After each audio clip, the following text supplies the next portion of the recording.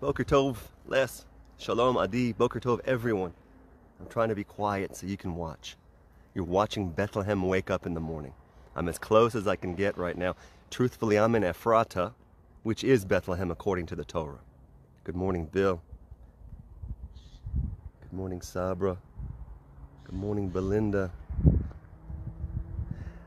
We're gonna do three things, right? Quiet. We're gonna we're gonna blow the shofar soon.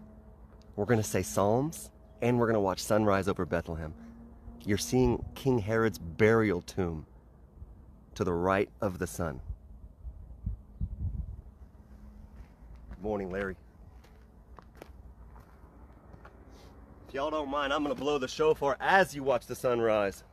You don't have to hear me. You don't have to see me. You have to feel godliness right now.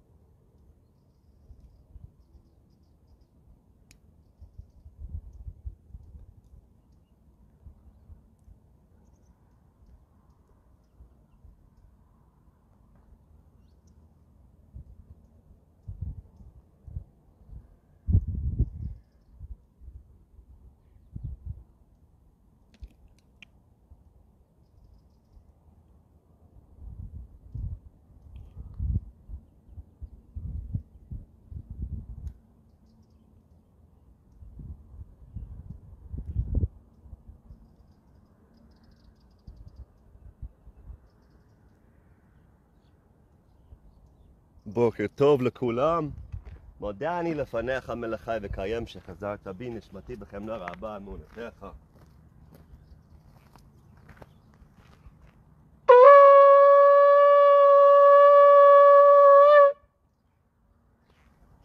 Bethlehem craves this sound. Bethlehem is a PLO terrorist stronghold, unfortunately, and it craves redemption. So does Jerusalem. so does every other millimeter of this land that I'm standing in. We got to get serious about our unity. Rosh Hashanah is around the corner. This isn't me preaching to you. I worked on myself this Shabbat. My son started wearing his tzitzit at school every day. So did I. Because of him. And he's seven.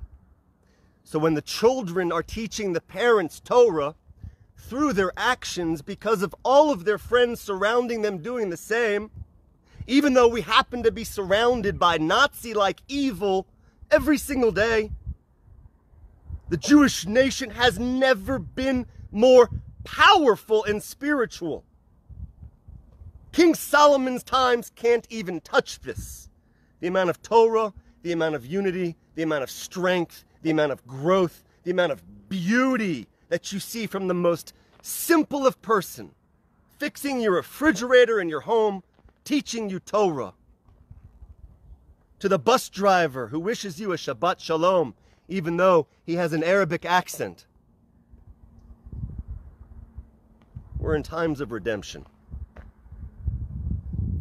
And you're standing at the highest hilltops blowing the shofar over the birthplace of King David.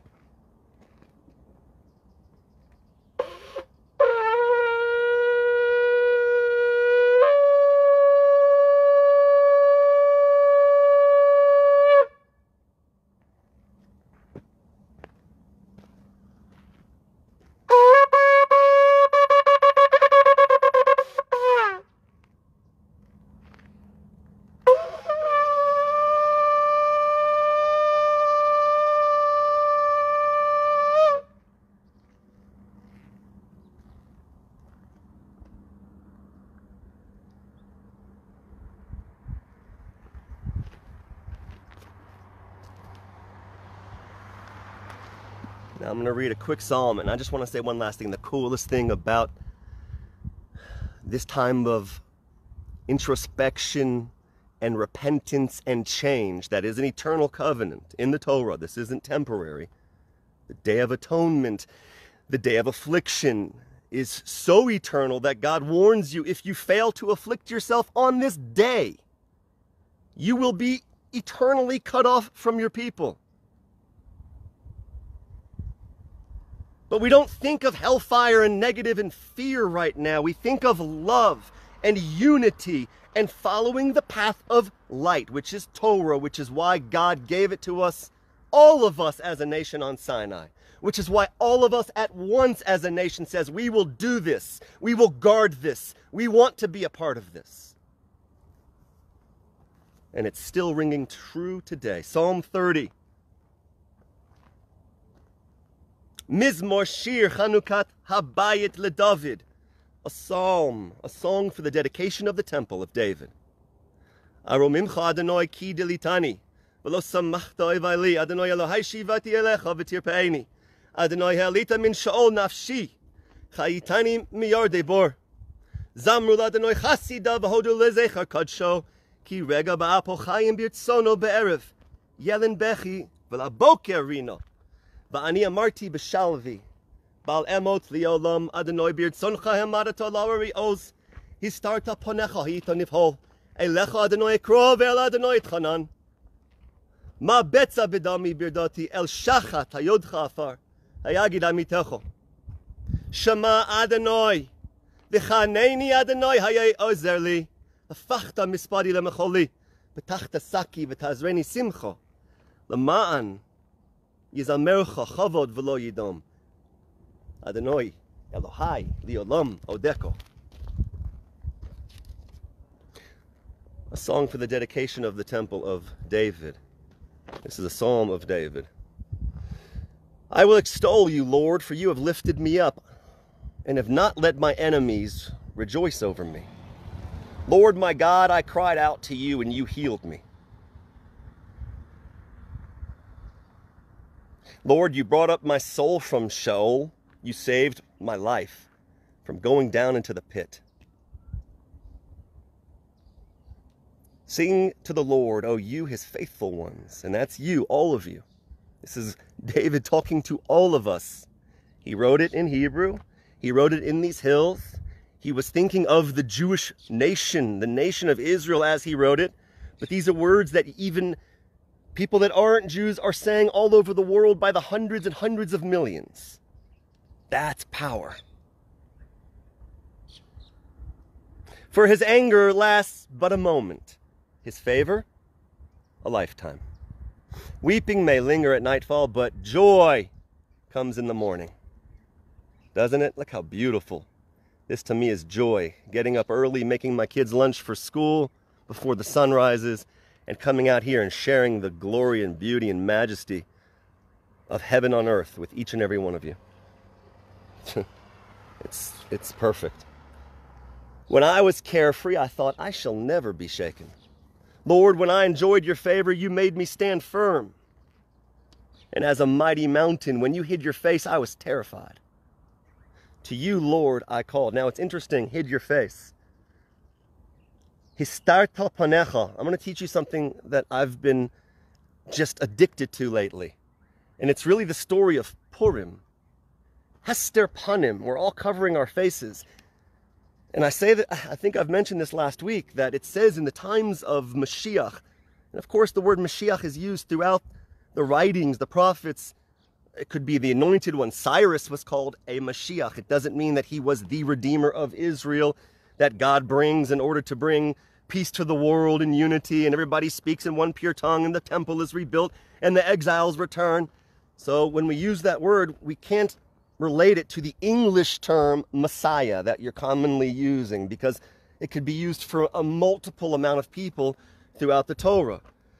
But here, what we know is that when God does send the Redeemer eventually, which is the line of from the city you're seeing, the Davidic line, which is, I think, amazing that we can stand here and even look at Bethlehem as a free people, even though Bethlehem is not free yet, and we've all lost the ball on that one, unfortunately. But it does say that there will be a great Hester Panim, that there will be a great hiding of God's face during that time. And even though we're not going into the holiday of Purim right now, we're going into Rosh Hashanah, of course and then the days of, uh, uh, of repentance, and then Yom Kippur, and then, of course, we have Sukkot, many holidays. But Purim is amazing because it's identical to what we're facing now. You have to hide your face. It's so visible to all of us, yet we either allow the fear, of course, there's a lot of people in pain and suffering. I'm not saying this sickness doesn't exist. I know a lot of people that are in a lot of pain and suffering. What I'm referring to is in how many years have we ever seen such a phenomenon where the entire world is covering its face at once? And here we're reading the psalm that talks about when you hid your face, I was terrified. And that is God giving us the choice to choose. Am I hidden from this story of Purim?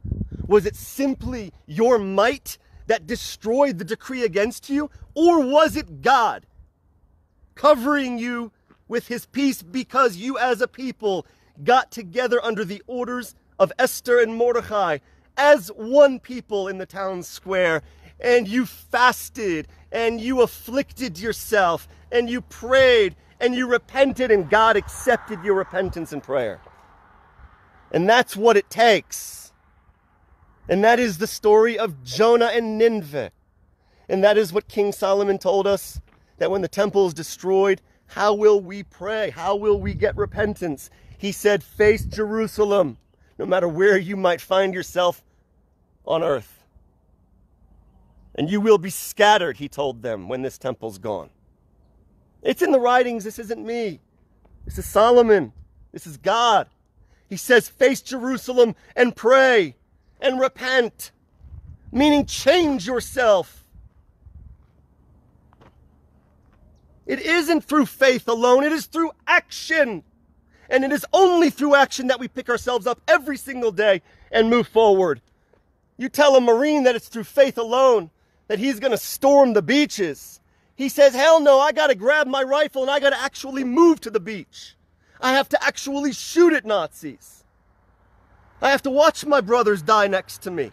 I have to risk my life. It's only when we walk into the water does the water split. And sometimes it takes a lot of casualties to get there. That is what we're going through right now, all of us, the entire world. This is not unique to the Jewish nation.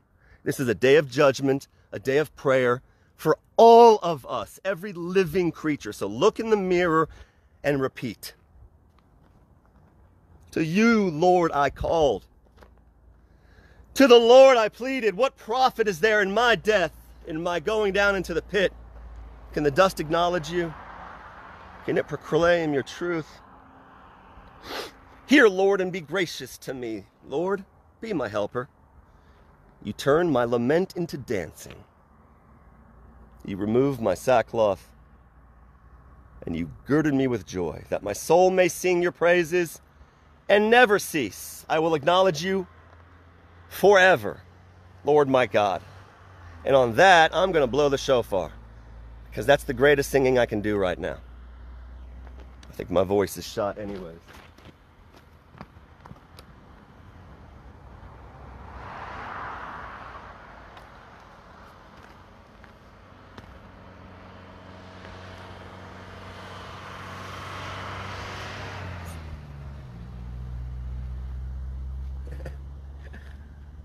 Been a long night, guys.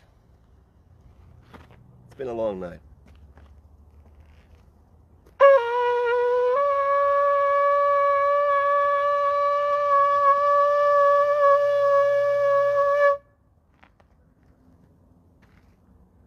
That's it.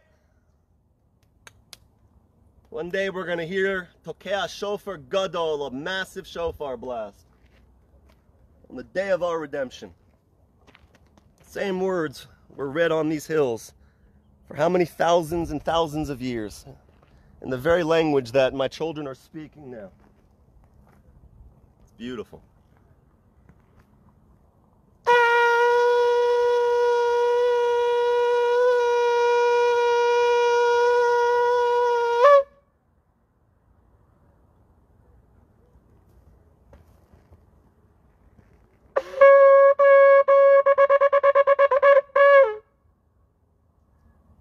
I can hear it echoing all over Bethlehem. That's cool.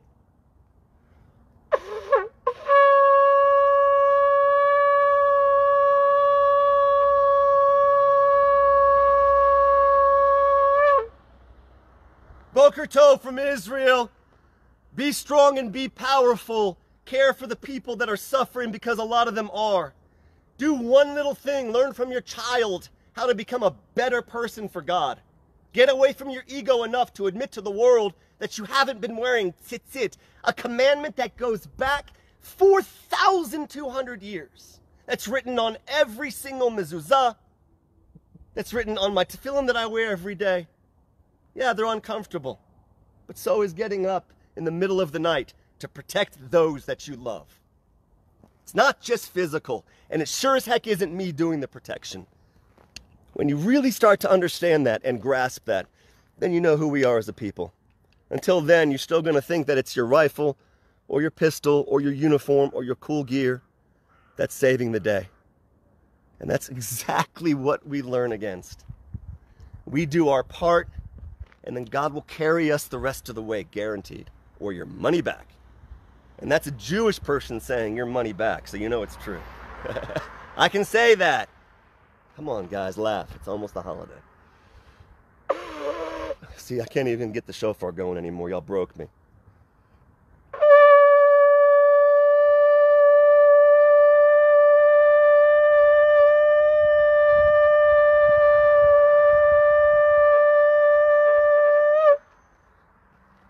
Shavua Tov. Hey, I'm releasing my annual, amazing, I think, um, Rosh Hashanah picture this evening Israel time. Also, we're planting trees. We're putting a bench in in our fields. This is the last day we're planting trees, so join us around, I don't know, around sunset Israel time. I don't have an exact time yet, but it's going to be beautiful. And I just want to say, much love from this beautiful land. Last thing we're going to do together is we're going to satisfy that positive commandment of blessing Israel. So let's do it together. God bless Israel. God bless you for blessing Israel. God bless you for standing with Israel. You know why you're doing it. And as I always say, we do have different ways of seeing different things sometimes in relation to godliness. But if we can all band together at the very least under the skies of Israel, with Bethlehem around us, with Jerusalem below us, Hebron, everything, the whole history and future colliding as one, if we could at least band together under God's oneness and say, Shema Yisrael Adonai Eloheinu Adonai Echad. Baruch Shem Kavod Malchuto Liolam Va'ed. Hear, O Israel, the Lord our God, the Lord is one. Break it down.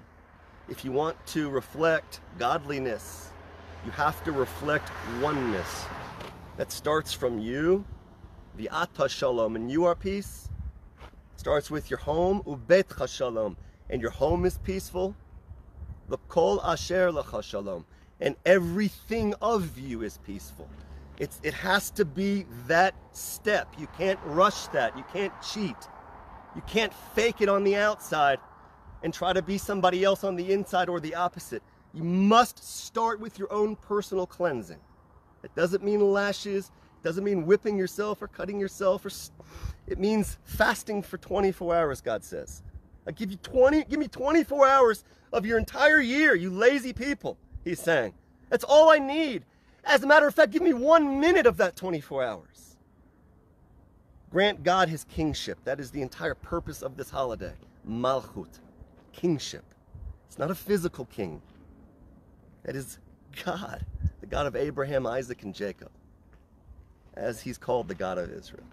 He's the God of each and every one of us, and we are all his children. That is not a special title to anybody in specific.